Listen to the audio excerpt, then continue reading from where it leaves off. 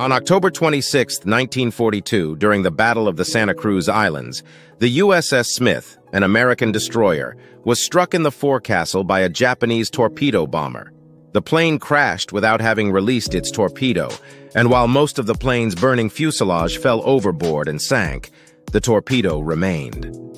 Fires eventually set the torpedo off, and a violent explosion engulfed the Smith, igniting a series of smaller explosions, as ready service ammunition at the forward gun positions cooked off.